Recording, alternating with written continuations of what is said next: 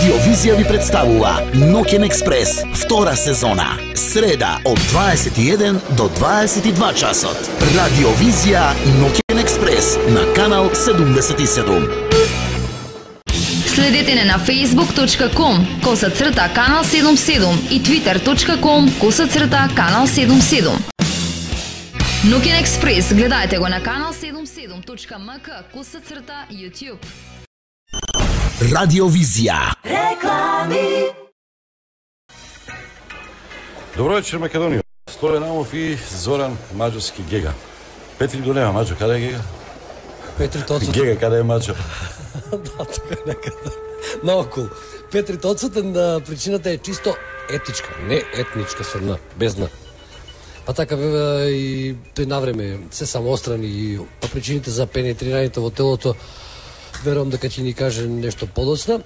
А како што ни соопшти, па цитирам, младичот ја извести редакцијата дека како што налагаат професионалните стандарди, тој нема да учествува во незиното подготвување и реализацијата бидејќи е засегната страна што беше во- со потполно разбирање прифатено од страна на раководството на овој професионален Доволно во потрага по петиот елемент. Петиот член на коктелото, круна на договорот од Пржино или нова кошница за изборите. Началници, новинари, медиуми и мегафони. На оваа тема вечерва ќе зборуваме со Светин Чилиманов, новинар член на Адхок телото, несудениот член на Адхок телото, Сефер Тахири, професор, новинар со долгогодишно искуство и еден човек кој што се вика Растер Салмани, председател на Сдруженијето на новинарите Македонија, кој што по никоја цена не само што не сакаше да биде член на Адхок телото како председателот на МАН Слагина Димишкова, туку беше категорички категорично против формирањето на ова Адхок тело. Парафраза. Индија беше најскапоцениот дијамант во круната на британската империја. И овој петиот член ќе биде круна, скапоцен елемент. Инаку морам да кажам дека петиот елемент веќе е познат. Нема да го откријам името. Значи Цветин или Цветко ама не е Чилиманов. Ама не е Чилиманов. Преведено на албански. Од Гостивар е поет, новинар, во невладиниот сектор е доста активен. Тоа е за почеток. Анкета на тема што значи тоа адхок, колку граѓаните се запознаени со оваа тема и колку ги познаваат луѓето кои што се многу популарни, барем за медиумската фела изминативе десетина дена. Евгенија Накиевска ја правеше анкетата. Дали знаете што значи адхок? Не знам. Адхок, да. Што што се прави у моментот. Дали сте запознаени со адхок телото за следење на работата на медиумите? Да, меѓутоа многу површно. Телевизија што гледам адхок телото, не сум запознат многу. Што значи? Адхок. Авток не. А, слушам. Убаво е кој нешто се превзима мерки. Значи, кога нешто не е веројатно прецизирано, така воопшто нешто, па нешто што се слуша по медиумите тоа. Не сум размислувала искрено, ама мислам дека е позитивно, да. Дали сте запознаени со членовите кои ќе бидат во адхок телото? Не, немам контакт. Па дека и се дел добри професионалци, а дел, иако се професионалци, се многу инволвирани во партијата на власт. Адхок не. Адхок не. Исто така не. Па, адхок би дошло као алтернативно или повремено. Значи, нешто што се, не се случува секојдневно, него случува инцидентно од настан. А дали сте запознаени со адхок телото за следење на работата на медиумите? Па, веројатно има повеќе адхок тела кои ги следат медиумите, пошто во медиумите сферата е онака доста несредена кај нас. Е очигледна цензурата у поголем дел на медиумите кои се посредно и непосредно под влијание на владата. По мене постои известна доза на цензура и треба да постои адхок тело кое би ги контролирало, односно би Дали знаете што значи адхок? Адхок, да речем не за да не сгрешам. Дали сте запознаени со постоењето на адхок телото за следење на работата на медиумите? Искрено не, не, не сум тука долго време во Македонија, така да ако ме прашуваш за Македонија не сме запознаени. Адхок, па нешто као инцидентно, као за нешто во моментот што треба, мисля че ни да се направи адхок. Цветин Чилиманов. слушна анкетата како звучи, имаше 30 награѓени кои што беа анкетирани, 80% од нив не гледаат оптимистички на работата на ова адхок тело. Дали си оптимист или песимист? Мојот единствен мотив, значи, да воопшто да се поврзам на некој начин со ова, беше да се обидам што е можно повеќе луѓе, вклучително и нови медиум, по сто пати ако треба да ја повторам таа работа, дека не сме да се казнуваат медиумите за вршење на новинарство, како што некој бара. Како ќе додека можам нели тоа да го правам, додека Добро, не се согласуваш со телото, а прифаќаш да бидеш член на. Толку- Малку е контрадикторно или да не речем контраверзно. Затоа што во старт влегуваш во тело во кое што ќе се бориш да не профункционира. А не да не профункционира, профункционира со почитување на уставот кој што гарантира слободен изразување. Методологијата е противуставна? Апсолутно е. Апсолутно. А зошто не ја дадете на уставен суд? Значи јас поднесов десетина забелешки за таа методологија. И тие беа одбиени. Додека има и нели и телевизиите поднесуваат своји забелешки, се надевам дека нели не знам сега како е таа говорат методологија. денеска, че колку што разбрав денеска треба да се разговара за таа методологија. Се се едно усвоена методологија не е поважна од законот, а законот не е поважен од уставот. Сето ова што се прави е против Сефер, кратко да те прашам и тебе Цвети. те прашам и Да беше 22.000 хонорарот. Како просечна плата, Значи, а не нас 80 имаше една јари. Дали ќе дека се кандидиравте? Јас не, не, не сум можел да им одолеам на 80.000 де- денари. Јас сум вработен во Институтот за културно наследство на албанците, каде што јавно изјавувам дека имам плата од 29.000 денари. Сум вработен во Универзитетот на Југоисточна Европа, каде што земам хонорар, јавно кажувам, од 21.700 денари. Тоа ми се доволни пари, јас да живеам комотно, да не се скарам со Насер, кој што ми е пријател, Горан, кој што вели после 20 години познавање, дека јас не сум можел да им одолеам на 80.000. Насер, многу зла крв пушташ во коментарите на Facebook. Дури се појави и една изјава која што се закануваш со исклучување, со исклучување од друженијата на новинарите на членови кои што ќе се осудат да конкурира. Не сум од тие што им е, одолеам зашто Имаме јас сум началник. Не, не, да не се трансформира за нама во ВМРО ДПМН или во СДСМ. Партиите исклучуваат за Јас да нама. бев од тие што ќе им оделев на 80 Да немате политички амбиции за 11 декември. не знам. А, имаме Да, можда човек. Тоа е најголемата глупост што беше кажана, во- пошто кога немате аргументи тогаш дискредитирате. Зошто Да. се началници? Еве, Затоа што еве се покажува начални како можете да дозволите партиите да ви ги вршат работите за кои вие Чекај, со мислиш закон дека и трпе е началник? Па ја не знам дали е трпен началник, Не, ама ти кажуваш дека и делуваат- трпе е началник. дел- делуваат како началници. А трпе ти беше уредник тебе. А што значи тоа? Најава за видео интервју зошто не го сакаат адхок телото професорката Снежана Трпески и новинарот Бранко Геровски. И што има Геровски против членовите на ова тело? Да ги слушнем. Радио Визија ви го представува Нокен експрес на канал 77.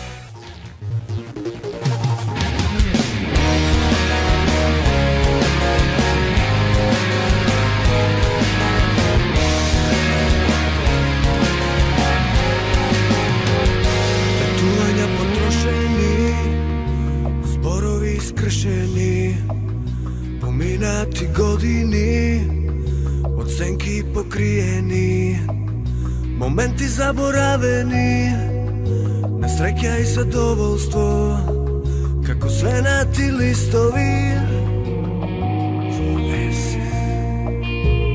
Имаше ли вистина, понашава приказна, Или се беше обрумено Вешто се скриено Ја верува во љубовта Во светата вистина беше тебе се едно.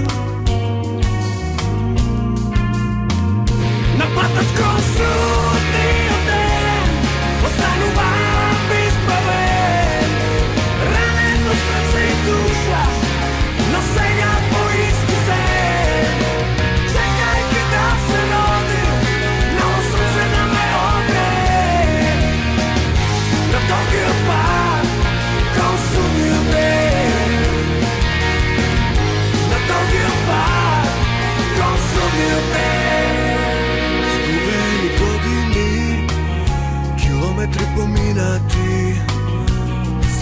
се фатени и солси гочливи не се враќа времето и топлите спомени. Запрашај се повторно. Зашто патот косо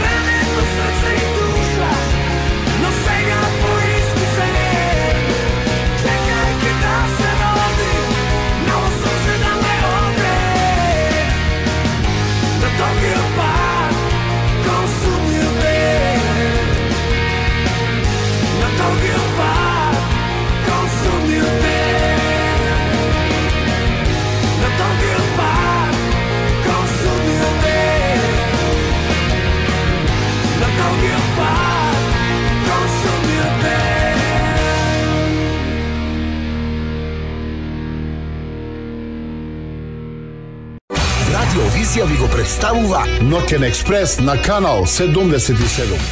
Цветин, да. Види, ајколе не се телевизиите. Ајколе во случајов е државно регулаторно тело кое што си дава за право да казнува телевизија според пример кој што го нема во Европа, а според законот наскоро утре ќе имаат право да казнуваат интернет сајтови и портали. Сите граѓански организации, издруженија, ова, вамо таму, го прифатија тој предлог на Ван Хојте кој што ќе беше уште пострашен, во кој што ќе имаше многу подолго траен мандат тоа тело. Затоа имаме- многу построги, многу Имаме уште пострашни шест Сега има строго дебата. ограничен период од 3 месеци, а при тоа мислам дека мене не ми е проблем ова што еве да речеме го делегитимираме телото како партиско, напротив ми е драго бидејќи граѓаните ќе можат јасно да видат од каде доаѓаат порачките и каде доаѓаат сигналите. Ќе беше дека зацкриено за НВО.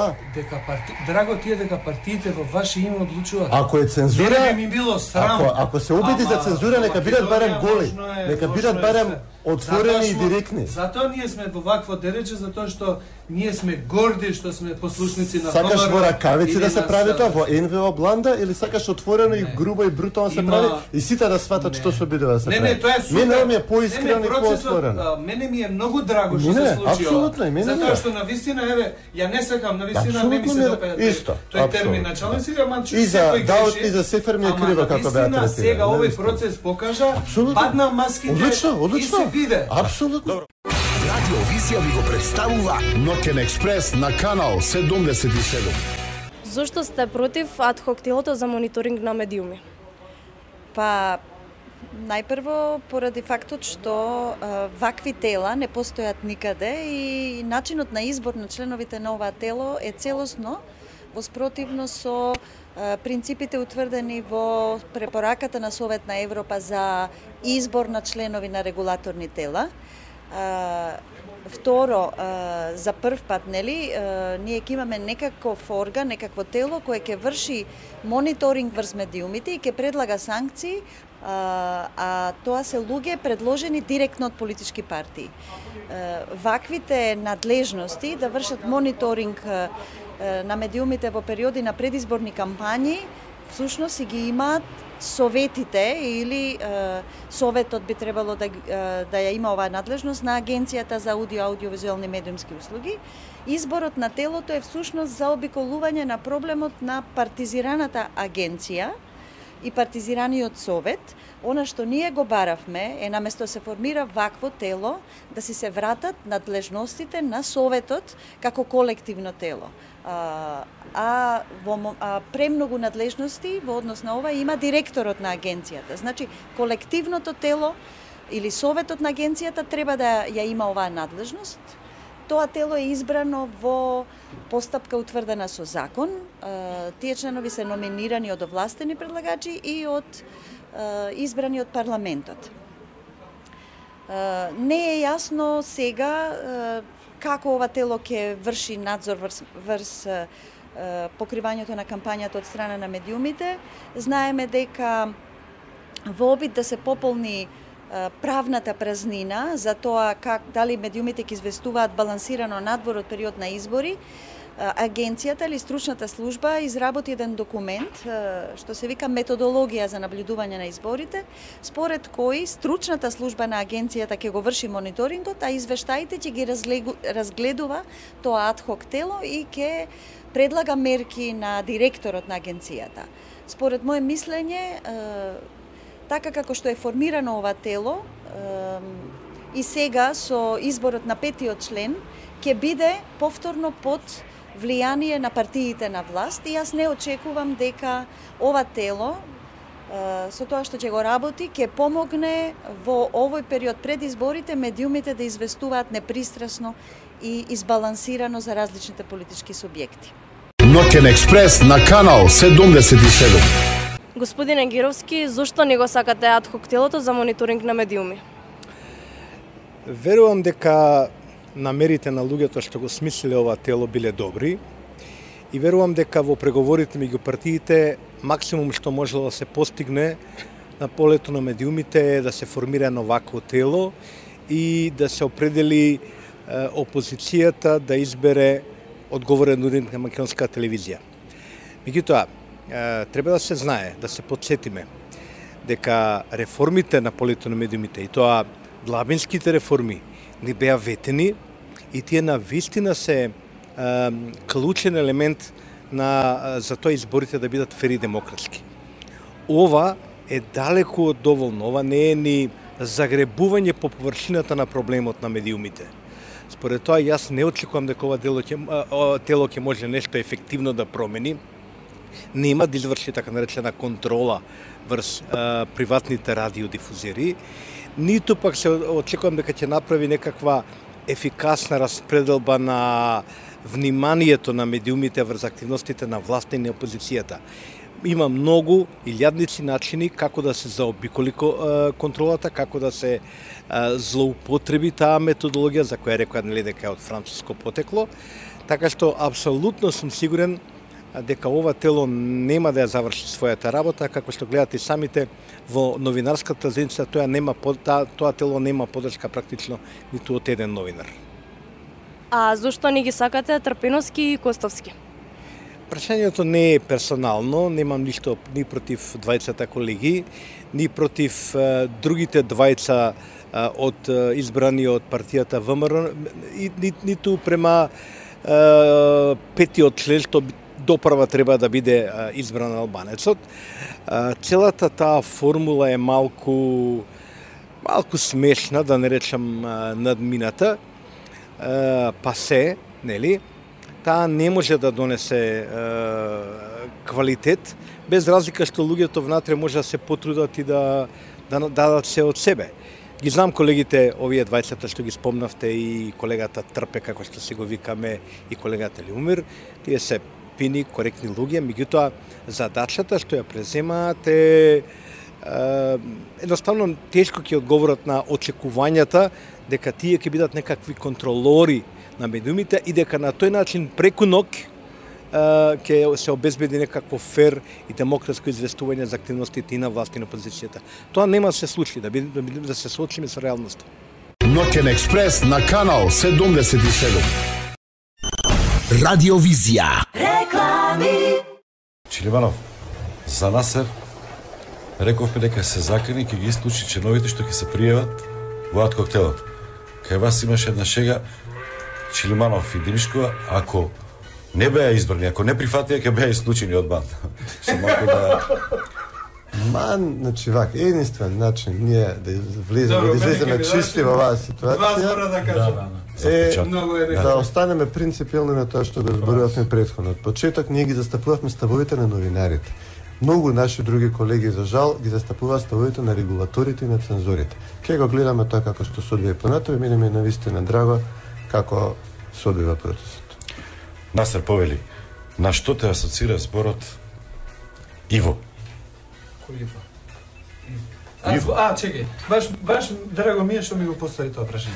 Многу се манипулира и многу се лаже. Во Македонија начинот а, пропагандата станува начин на а, дискурс на, На размислување, И тоа е тоа е така, тука не можеш ништо против тоа. Ама не одговори на што Ивановски асоцира- Договоривме за две работи.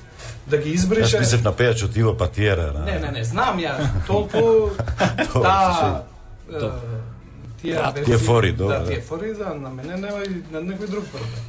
А, да ги избрише интернет порталите и гледате вие колку луѓето од власта вршат притисок да ги внесат во законот, затоа што на висина тогаш ми го расипавме концептот. Се работеше за концепт.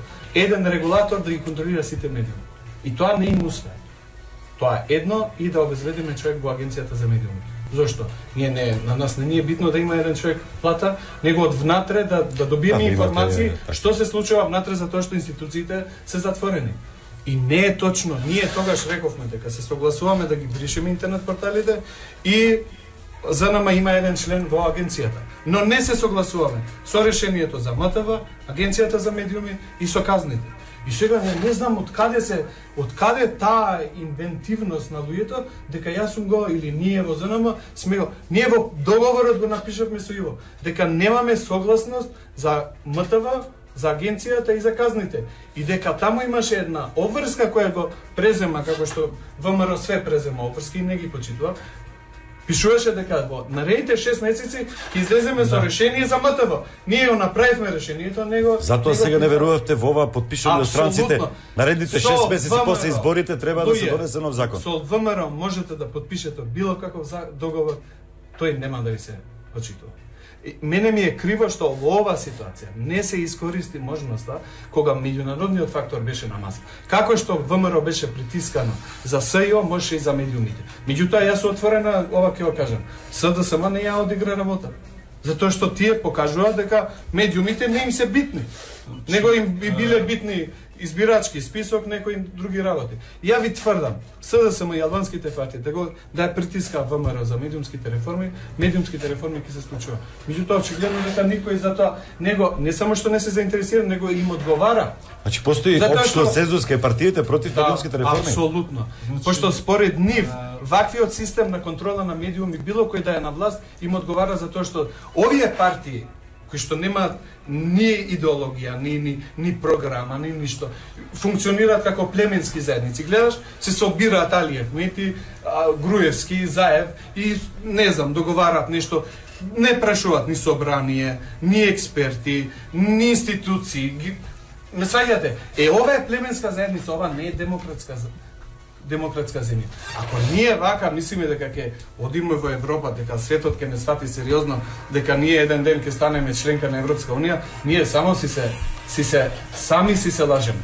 И и и на висина мене ми е многу драго што не не прифативме да се вклучиме во ова а, маскарада затоа што очигледно дека партиите се обидува нивната валканиот дел од работата да ја фрлат во раците на новинарите за да тие гледат се. И сега што им се врати како бумеранг. Професионални И- стандарди на што на што Цветин те асоцира? А, тоа зависи од новинарот. Мене, значи повторно во контекст на овој разговор, прва асоциација ми е дека апсолутно не сме да има државно регулаторно тело што ќе го пределува тие стандарди. Треба да се укине АВМ. Па апсолутно би било. Зора. Трајчски председател, односно Да, да, директора да, да, да, да, Чека, да. дали треба, а дали треба во агенција за медиуми директор да биде партиски Не, треба да ја нема, не, на столева право, треба да ја нема. Видите, луѓе, дајте да збориме за стандарди. Има препораки на Советот на Европа. Главни предуслови за регулаторното тело е да е непартиско, не политичко и да е финансиски обезбедено. Ни едното, ни другото.